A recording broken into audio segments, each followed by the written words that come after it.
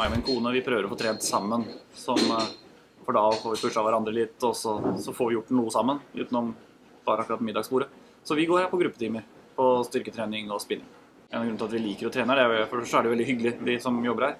Men det er jo ikke bare noen sånn der eh, som har tatt et brevkurs eller noe sånt. eh, De har jo god utdannelse alle sammen, så jeg føler jo veldig at trenings- og gruppetimer blir veldig tilrettelagt. jeg får individuell oppfølging selv i gruppetimen. da. Det er for å trene, og det, er, det ser du på de som er her. Det er alle typer folk fra de som liker å bare løfte vekter, og så er det folk som går som meg, som prøver å gjøre litt med livsstilen og sånt. Motivasjonen var vel å få trent beveget seg noe mer. Altså, jeg er jo en veldig stillesittende jobb. Så jeg sitter jo på kontor, som de fleste andre gjør. Så da så begynner jo alderen å innhente, dessverre. Irriterer å måtte innrømme det, men det hjelper faktisk å trene.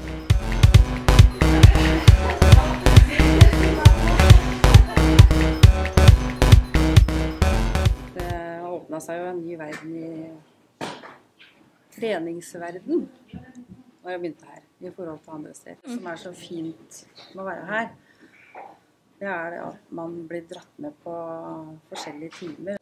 Jeg hadde ikke tenkt så mye å gå på timene med en gang. Jeg skulle bare begynne så smått med varmtvannstrening og det egne programmet.